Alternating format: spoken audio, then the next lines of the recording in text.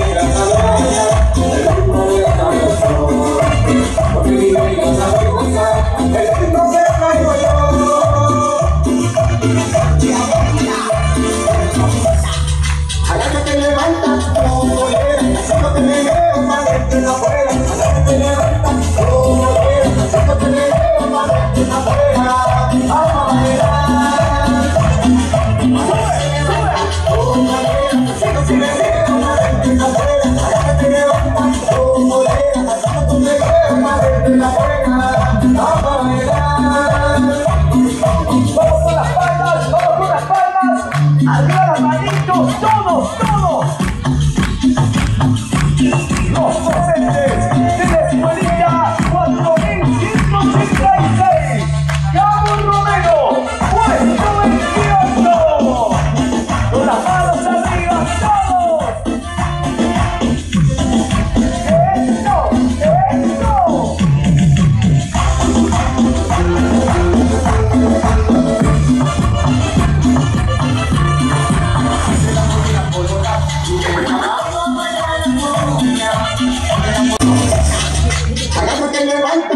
levanta,